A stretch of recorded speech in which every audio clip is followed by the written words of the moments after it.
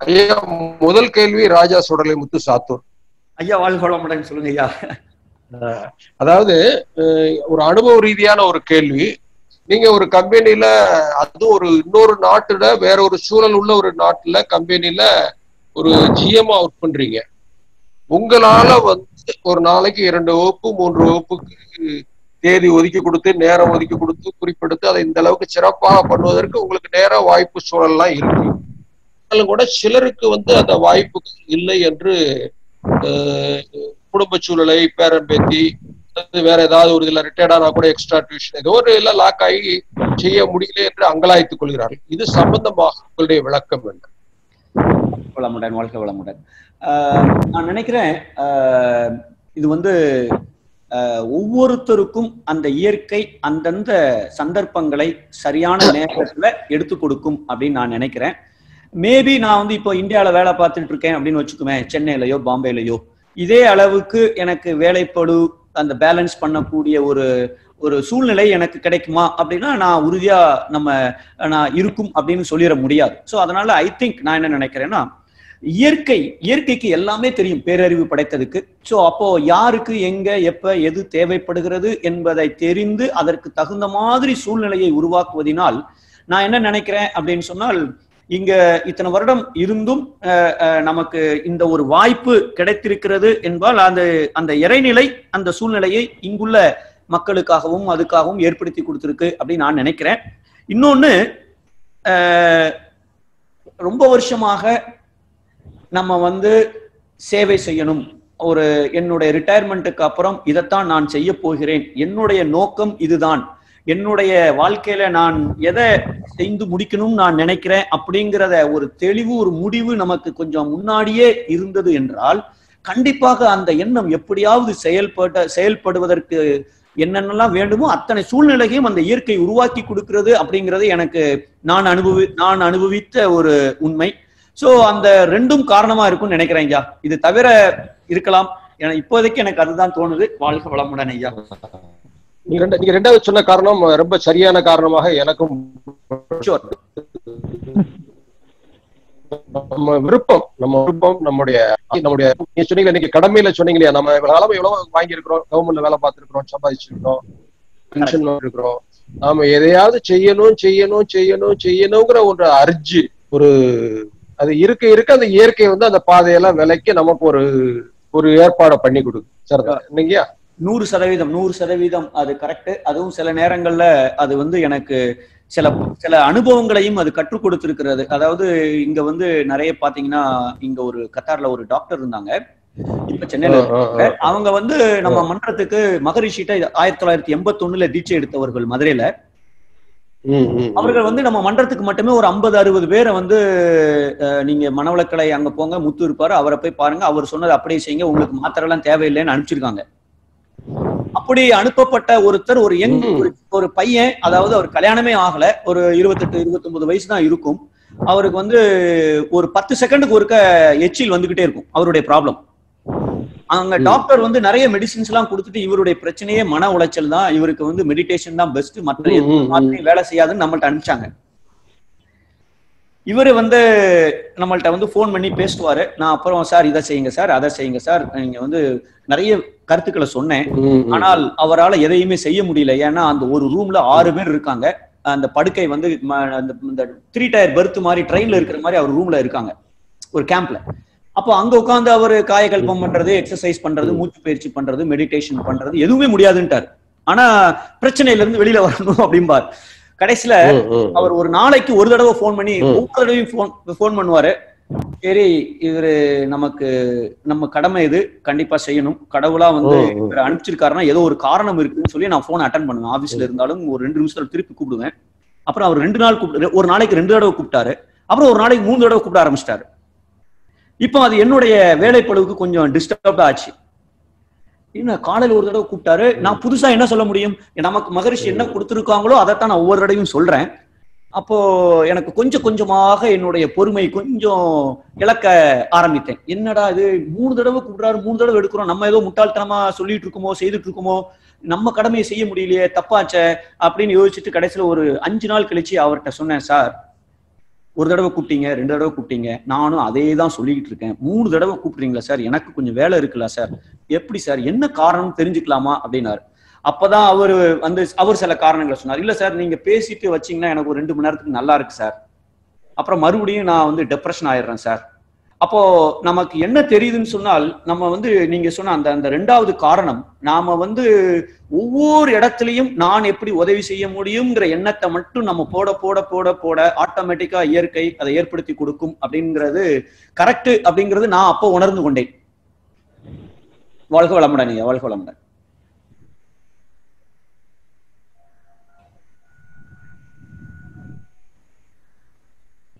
வாழ்க வளமுடன். வாழ்க வளமுடன்.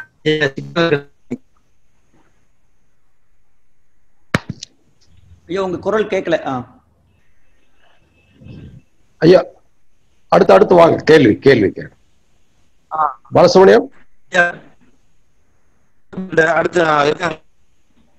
ஆ. ஐயாட்ட கேள்வி கேட்கறவங்க கேட்கலாம்.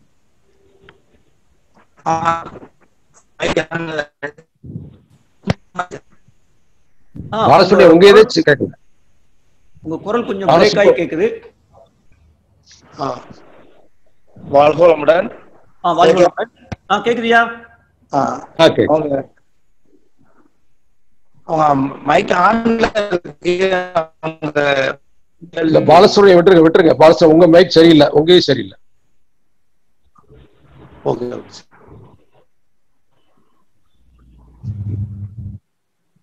வாழ்களுடன் வேணி வாங்க வேணி வேணி.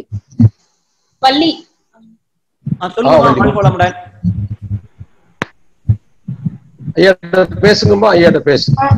ஐயா வாழ்க வாழ்க வளமுடன்மா வாழ்க ஐயா இது ஒரு காமன் கொஸ்டின்ஸ் தாங்க ஐயா.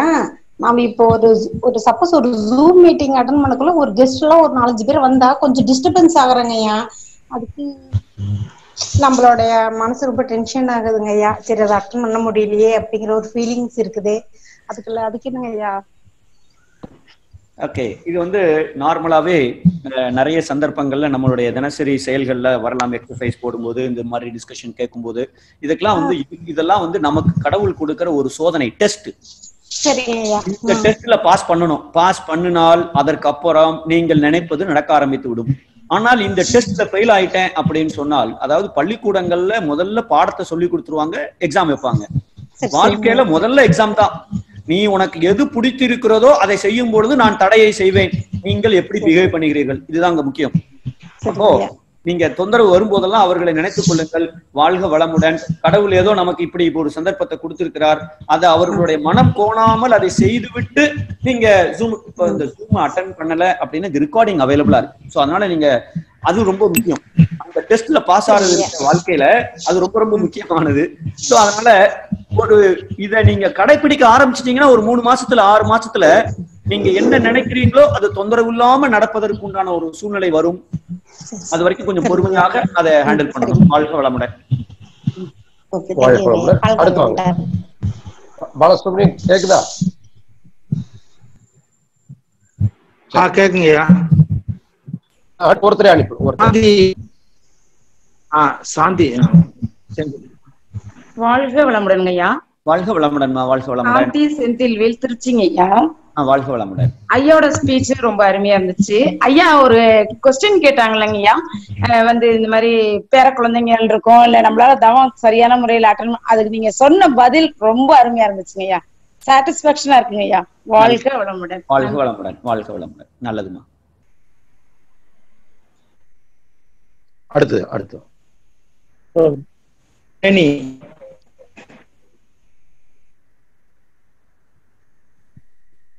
அன்மியூட் பண்ணுங்க வேணி வேணி.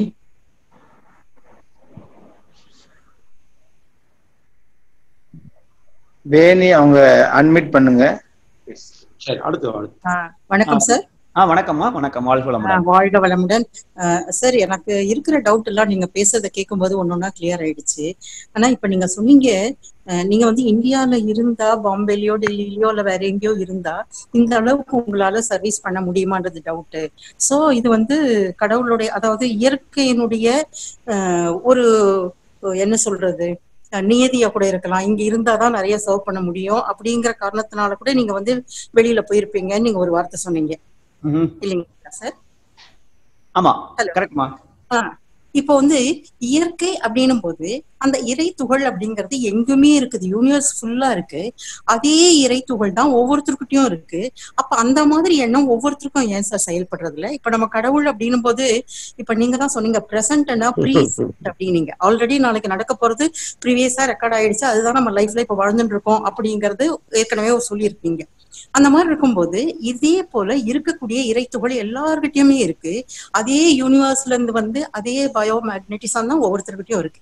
அப்போ அந்த மாதிரி தாட் ஏன் எல்லாருக்கும் வர்றதில்லை? அதுக்கு என்னங்க சார் ரீசன் ஓகே அதாவது துல்லிய சமதள சீர்மை அப்படின்னு ஸ்பெசிபிக் கிராவிட்டி பிரின்சிபல் அப்படின்னு மகரிஷி ஒன்று கொடுத்துருப்பாங்க. அதாவது இதுதான் வந்து இந்த இயற்கை எப்படி இந்த செயல் விளைவு தத்துவத்தை செயல்படுத்தி கொண்டிருக்கிறது அப்படிங்கிறதுக்கு ஆன்சர் அதுதான். ஒரு சின்ன பக்கெட்ல நீங்க பால் ஊத்துறீங்க மோர் ஊத்துறீங்க தயிர் ஊத்துறீங்க ஆயில் ஊத்துறீங்க தேன் ஊத்துறீங்க மண்ணெண்ணெய் ஊத்துறீங்க பெட்ரோல் ஊத்துறீங்க. ஒரு கலக்கு கலக்குறீங்க. கலக்கி முடிச்ச அப்புறம் அரை மணி நேரம் கழிச்சு பார்த்தா ஒவ்வொன்றும் ஒவ்வொரு இடத்துல நிற்கும் தேன் வந்து கீழே இருக்கும். ஆயில் அதுக்கு மேல இருக்கும். தண்ணீர் மேல நிக்கும். அதாவது அதனுடைய அடர்த்திக்கு தகுந்த மாதிரி அந்த பக்கெட்டுக்குள்ள ஒரு இடத்தை பிடித்துக் கொள்ளுகிற மாதிரி. இந்த பிரபஞ்சம்ங்கிற பக்கெட்டுல நம்ம ஒவ்வொருத்தருக்குள்ளேயும் ஒரு அடர்த்தி இருக்கிறது. அது எதுன்னா கருமையத்தில் இருக்கிற பதிவுகள். என்கிட்ட என்ன பாசிட்டிவ் பதிவு இருக்கு? என்கிட்ட என்ன நெகட்டிவ் பதிவு இருக்கு? இன்னொருத்தட்ட என்ன பாசிட்டிவ் பதிவு இருக்கு? என்ன நெகட்டிவ் பதிவு இருக்கு? இந்த பூமிங்கிற ஒரு பக்கெட்டுக்குள்ள சுத்திக்கிட்டே இருக்கு. அப்ப அதாவது அந்தந்த பதிவுகளுக்கு தகுந்த மாதிரி ஒரு இடத்தை அன்று அன்றோ அல்லது அந்த மாசமோ இல்ல அந்த வருஷமோ இல்ல ஒரு அஞ்சு வருஷத்துக்கோ ஒரு இடத்தை பிடித்துக் கொள்கிறது. அதே மாதிரி என்ன சுத்தி ஏன் இந்த மாதிரி ஒருத்தர் வரணும் அப்படின்னா அதுவும் அதே அவங்க அவங்க அந்தந்த கருமையப்படி பதிவுகளின்படி அடர்த்தி நிலைக்கேற்ப ஒரு இடத்தை பிடித்துக் கொள்கிறார்கள். அப்படின்னா இந்த இறைத்துகள் எல்லா இடத்துலயும் இருக்கு. ஆனா ஒவ்வொரு இறைத்துகளுக்குள்ளேயும் ஒரு அறிவு ஒன்று இருக்கிறது பதிவு ஒன்று இருக்கிறது. இல்லையா? நாம விண். உயிர் துகள்லையும் பதிவு இருக்கு அப்படின்னு நாம சொல்றோம். அப்ப எனக்குள்ள இருக்கிற உயிர் துகளும் இன்னொருத்தருக்குள்ள மனைவிக்குள்ள என் மனைவி கிட்ட இருக்கிற உயிர் துகள்ல இருக்கிற அந்த பதிவும் சேமா அப்படின்னு கேட்டா கண்டிப்பா சேம் கிடையாது. இது சேம் ஆகணுங்கிற நோக்கத்துக்காகத்தான் அவர்கள் எனக்கு வாழ்க்கை துணையாக வந்திருக்கிறார்கள். ஆனா இப்ப அது சேம் இல்ல. அப்போ என்ன ஆகுதுன்னு சொன்னால் அந்த உயிர் துகள்ல இருக்கிற என்ன பதிவு இருக்கிறதோ அதற்கு தகுந்த மாதிரி அவர்கள் செயலை செய்கிறார்கள். அதற்கு தகுந்த மாதிரி அங்கே சூழ்நிலை உருவாக்கப்படுகிறது. என்னுடைய பதிவுக்கு தகுந்த மாதிரி சூழ்நிலை எனக்கு உருவாக்கப்படுகிறது. சோ அதனால இந்த உலகம் என்பதே ஒரு கண்ணாடி மாதிரி அப்படின்னு சொல்லுவாங்க. அதாவது என்ன கண்ணாடி மாதிரி என் கருமையத்துல என்ன இருக்கோ அதுதான் அங்கே பிரதிபலிக்கிறது. சோ அதனாலதான் வந்து நான் அந்த ஒரு பாயிண்டையும் நான் சொன்னேன். ஏன்னா ஆள் மனசுல எனக்குள்ள இப்படி ஒரு ஒரு ஒரு பதிவு உள்ள இருக்கு. அதை நான் அதை மாத்துவதற்கு முயற்சி செய்யணும் எக்ஸ்ட்ராவா ஓகே அது சந்தர்ப்பம் வரும்போது பண்ணிக்கலாம். அது எப்ப தேவைப்படுதோ அப்ப பண்ணிக்கலாம் அப்படின்னு நினைச்சிருக்கேன். அதனாலதான் நான் அந்த ஒரு பதிலையும் நான் சேர்த்து சொல்லிட்டேன். பட் ரெண்டாவது சொன்ன பதில வந்து நீங்க இன்னும் கொஞ்சம் ஒரு சரியான பதிலாக நீங்க எடுத்துக்கொள்ளலாம். வாழ்க வளம். Okay sir. Okay sir. Thank you sir வாழ்க வளம். வாழ்க்கை அடுத்து அடுத்து அர்ச்சனா வெங்கட் அர்ச்சனா வெங்கட். வாங்க. வணக்கம் ஐயா. வாழ்க வளமுடன் ஐயா. வாழ்க வளமுடன் வாழ்க வளமுடன் இன்னைக்கும் உங்க ஸ்பீச் மிக மிக அருமை. உங்க ஸ்பீச்சை கேட்டு நாங்க எங்க வாழ்க்கையிலே நிறைய மாற்றங்கள். எனக்கு ஒரே ஒரு சந்தேகம் மட்டும் ஐயா. சொல்லுங்க இப்போ நீங்க அந்த சொன்னீங்களே ஐயா அது நம்ம பொறுமையாதான் எல்லா விஷயத்துக்கும் இது பண்ணணும் நம்ம எதுவும் இது பண்ணக்கூடாது அப்படின்னா. நீங்க வந்து இத்தனை வருஷமா பண்ணி உங்களுக்கு வந்து அவர்கிட்ட பேசும்போது அவ்வளவு பொறுமை வந்திருக்கு. பட் எங்களுக்கெல்லாம் வந்து வந்திருக்குமான்னு எனக்கு தெரியல. இன்கேஸ் என்னோட சுச்சுவேஷன்ல அந்த மாதிரி நடந்தா. பட் நம்ம இன்னும் நிறைய பொறுமையா இருக்கணும்னா அதுக்கு என்னங்க ஐயா தவம் தானாங்க ஐயா தவம் மௌனம் நீங்க மௌனம் ஒரு நாளைக்கு ஒரு ஒரு மணி நேரம் அரை மணி நேரம் ரெண்டு மணி நேரம் இருக்க இருக்க இருக்க என்ன ஆகும்னு சொன்னால் மனோசக்தி கூடும். ஒண்ணு. ரெண்டாவது நம்மள்ட்ட இருக்கிற நிறைய பதிவுகள் தேவையில்லாத பதிவுகள் நிறைய இருக்கு பாத்தீங்களா அதெல்லாம் தானா ரிலீஸ் ஆகி வெளியில பிரதிபலித்து போய்க்கொண்டே இருக்கும். அப்ப என்ன ஆகும்னா நான் போய் ஒரு கிச்சன்ல டீ போடணும் அப்படின்னா போன உடனே டீ தூள் எங்க இருக்கு? ஜீனி எங்க இருக்கு? ஆஹ், பால் எங்க இருக்குன்னு எனக்கு தெரியணும். அங்க ஒரு ஆயிரத்தெட்டு ஜாமா இருந்தா டீ தூளை தேடுறதுக்கு ஒரு அஞ்சு நிமிஷம் ஆகும். அதே போல நாம உடனே ரியாக்ட் பண்ணிடுறோம். பொறுமை இல்லாம ஏன்னு சொன்னால் அங்க ஏகப்பட்ட பதிவுகள் இருக்கிறதுனால ஒவ்வொன்றும் போராடி அதை செய் இதை செய்ன்னு சொல்லுது ஒவ்வொரு சுச்சுவேஷன்ல அது கொஞ்சம் அப்படியே தெளிவாக எது எது எங்கெங்க இருக்க முடியுமோ அப்படி இருந்தது என்றால் இப்ப நீங்க சிந்தனை பண்ண ஆரம்பிச்சிருவீங்க. நம்ம இப்ப ரியாக்ட் பண்ணணுமா வேண்டாமா? ஆனா ஜாம் ஆகி போய் நின்றுச்சுன்னு வச்சுக்கோங்களேன் நமக்கு அது கஷ்டம். ஸோ அதனால தவம் அப்புறம் மௌனம் ஆஹ், இருக்க இருக்க இருக்க கண்டிப்பாக வந்துரும். நமக்கு வந்து பொறுமை அப்படிங்கிறது ஒண்ணு பெரிய நம்மளை விட பலம் மிக்கவர்கள்ட்ட நம்ம பொறுமையா தானே இருக்கோம். கண்டிப்பாங்க ஐயா. ஆஹ் அப்ப நம்ம பலம் குறைந்தவர்கள்ட்ட தான். சோ அதனால இது நம்மளால முடியும். ஆனால் கொஞ்சம் நம்ம அதை மெனக்கிட்டு கொஞ்சம் சங்கற்பம் போட்டு இந்த மௌனம் இருக்க இருக்க கண்டிப்பாக தவம் மௌனம் இந்த ரெண்டும் சூப்பர் டெக்னிக்ஸ் வாழ்க வளமுடன். வாழ்க வளமே நன்றி. வாழ்க வளமுடன். அடுத்து வெங்க- வெங்கடகிருஷ்ணா வெங்கடகிருஷ்ணா. வாழ்க வளமுடன் லாஸ்ட் டைம் கிளாஸ்ல நீங்க அஞ்சு வகுப்பு எடுத்தீங்க. ஃபர்ஸ்ட் வகுப்புல எந்த எனர்ஜி இருந்தோ அந்த அஞ்சாவது வகுப்புலும் அதே எனர்ஜி தான் இருந்தது. ஆனா நான் மூணு கிளாஸ் தான் அட்டன் பண்ணேன். அதுக்கே எனக்கு ரொம்ப டயர்ட் ஆயிடுச்சு. இதோட உங்களோட சீக்ரெட் என்னன்னு சொல்லுங்க ஐயா. வாழ்க வளமுடன்மா மேபி இந்த கர்மயோகத்தோட கான்செப்டே என்னன்னா நீங்க ஒரு சுயநலத்தோடு செய்யாமல் பிறர் நலனுக்காக செய்யும் பொழுது நம்ம என்ன நடக்குதுன்னு சொன்னால் இது நான் செய்யல இல்லையா? பிறருக்கு எனக்கு எந்தவித பலனும் இல்லை அப்படின்னு நான் செய்ய ஆரம்பிச்சிட்டேன்னா சப்ளை அந்த பேராற்றல இருந்து கொடுத்துக்கிட்டே இருக்கும் அப்படிங்கிறத நீங்களே உணரலாம். எப்பன்னா நீங்க உங்க வீட்டுக்கு ஏதோ ஒரு க்ளீன் பண்ணணும் அப்படின்னு சொல்லி ஒரு வேலையை செய்யுங்க. எப்படி டயர்ட் ஆகுறீங்கன்னு பாருங்க.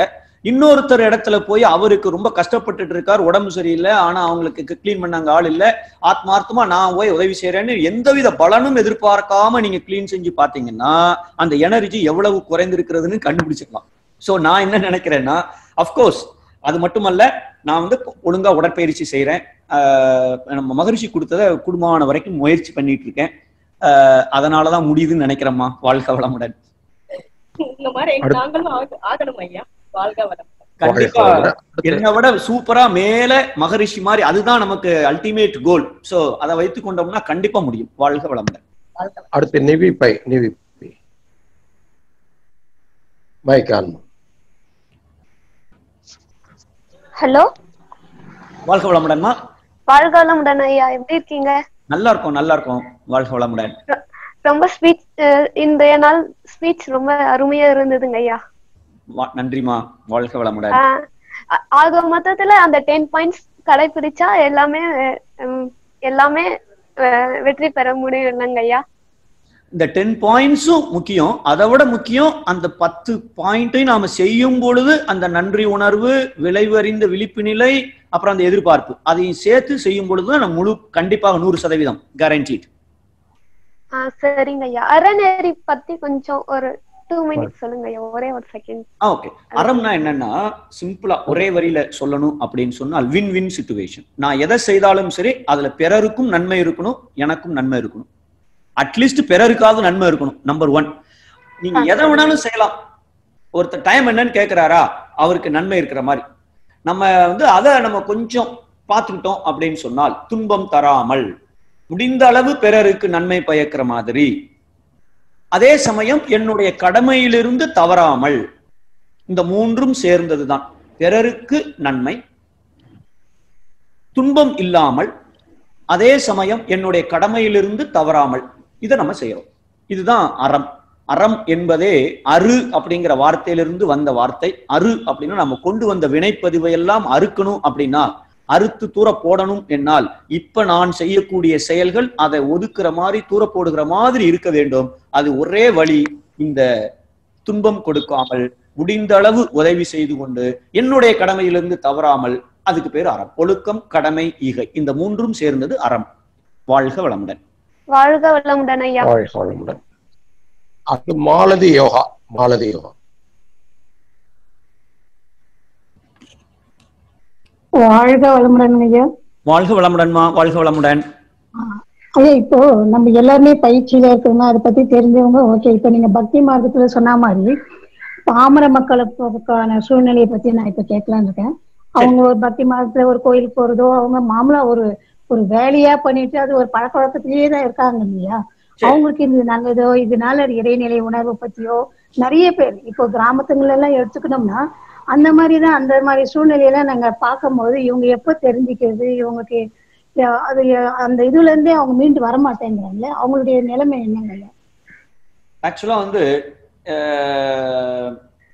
நீங்க வந்து இந்த பக்தி மார்க்கத்துல நான் கூட இந்த என்னுடைய ஸ்பீச்சஸே ஒரு நாலு வருஷத்துக்கு முன்னாடி மூணு வருஷத்துக்கு முன்னாடி இங்க வெள்ளிக்கிழமையில நாங்க கொடுக்குற ஸ்பீச்லயே நான் சொல்லியிருக்கிறேன். என்னுடைய அனுபவத்துல பக்தி மார்க்கத்துல இருக்கிறவர்கள் இறை உணர்வு பெறுவது சாத்தியம் இல்லை அப்படின்னு நான் இப்படி இப்படி இந்த ஸ்டேட்மெண்ட்டை என்னுடைய கருத்தாக நான் பதிவு செய்திருக்கிறேன். அது ரெக்கார்டிங் யூடியூப்ல கூட இருக்குமே ஏதாவது ஒரு ஸ்பீச்ல ஆனால் போன வருடம் நான் ஜூன்ல வந்து இந்த இமயமலை கைலாஷுக்கு ஒரு பதினெட்டு நாள் நான் போயிருந்தேன். அங்க உங்களுக்கு தெரியும் எத்தனை நாள் நம்ம நடக்கணும் எவ்வளவு குளிரா இருக்கும் ஆக்சிஜன் எவ்வளவு கம்மியா இருக்கும் அப்படின்னு சொல்லிட்டு அப்புறம் ஒரு ஒரு சு- ஒரு ஒரு பர்டிகுலர் தினத்துல வந்து டோட்டலா மைனஸ் இருபது டிகிரி சென்டிகிரேடு யாரும் போறதுக்கு அனுமதி இல்லைன்னு பேன் பண்ணிட்டாங்க. தடை செய்து விட்டார்கள். அப்படி நீங்க அதை மீறி யாராவது போகணும்னா போகலாம் ஆனா அவங்க சில டெஸ்ட் வச்சிருக்கிறாங்க. அதை செய்யணும். இன்னொன்னு வந்து அப்படி தவறி கிவறி நம்ம கீழே கீழே விழுந்தோம்னா அங்கனே நம்ம இறந்து போயிடுவோம் அப்படியே பாடியை தள்ளி விட்டுருவாங்க. பாடியை கீழே கூட அனுப்ப மாட்டார்கள் அப்படின்னு சைனா கவர்மெண்ட் வந்து ரிட்டர்ன்ல நோட்டீஸ் கொடுத்துட்டாங்க. எங்க கூட வந்தவர்ல ஒருத்தர் வந்து நாற்பத்தெட்டு வயசு ஆகுது. பக்தி மார்க்கத்துல நம்பர் ஒன் பக்தி மாணவர். அவர் வந்து பஜனைகள்லாம் பாடினாரு. அப்போ அவர் சொன்னாரு சார் அவர் குழந்தை அவருக்கு பொண்ணுக்கு கல்யாணம் ஆயிட்டு. அவர் சொல்றாரு நான் போறேன் சார் நடந்து போறேன். நீங்க எல்லாம் நாளைக்கு போங்க. ஆனா நான் இன்னைக்கு ஆஸ் பிளான் நான் நடந்து போக போறேன். சார் இவ்வளவு ரிஸ்க் இருக்குன்னு சொல்றேன். கடவுள் என் உயிரை அங்கதான் எடுக்கணும்னா எடுத்துட்டு போகட்டும் சார் நான் ஒய்ஃபுக்கு ஃபோன் பண்ணி சொல்லிட்டு நான் இன்னைக்கு காலையில போ நாளைக்கு காலையில நாலு மணிக்கு கிளம்புறேன் சார்னாரு இதுதான் வந்து அந்த பக்தி மார்க்கத்துல தேவைப்படுகிற அந்த சரணாகதிங்கிறது. சோ அதனால இந்த பக்தி மார்க்கத்துல இருக்கிறவர்கள் நான் அதுக்கப்புறம் என்னோட ஒப்பீனியனை மாத்திட்டேன். பக்தி மார்க்கத்துல இருப்பவர்களும் இறைநியை உணர முடியும். ஆனால் அங்க இந்த சரணாகதிங்கிற ஒரு இதை நம்ம கொண்டு வரணும். அப்போ நீங்க பக்தி மார்க்கத்துல ஆழ்ந்து இருக்கிறவங்களுக்கு நீங்க ஞானத்தை சொல்லி கொஞ்சம் திருத்திடலாம் இல்ல மாத்திரலாம் அப்படின்னு நம்ம நினைக்கிறது வந்து கொஞ்சம் சிக்கலான காரியம்தான். நீங்க வந்து இன்னைக்கு வந்து அட்வைஸ் பண்றது ஈஸி ஆனா அதை கேட்கறவங்களுக்கு நம்ம பகை உணர்வை தான் ஏற்படுத்துற மாதிரி இருக்கு. அதனால நம்ம என்ன செய்யலாம் அப்படின்னு சொன்னால் பக்தி உணர்விலேயே மூலமாக அவர்கள் முழு இதை அடைவதற்கு நீங்க ஒரு ரெண்டு ஸ்டெப் எடுங்க. இப்ப நீங்க என்ன சொல்ல வரீங்கன்னு உங்கள்ட்ட வந்துருவாங்க. நாம இது பண்றது தப்புங்கிற ஒரு எண்ணத்தை சொல்ல வேண்டாம். மனசுக்குள்ள வச்சுக்கிட்டு அவங்கள அப்ரோச் பண்ணினாலேயே நமக்கே தெரியாம நம்முடைய காந்த அலை அவர்களிடம் ஒரு வெறுப்பு உணர்வை ஏற்படுத்துகிறது.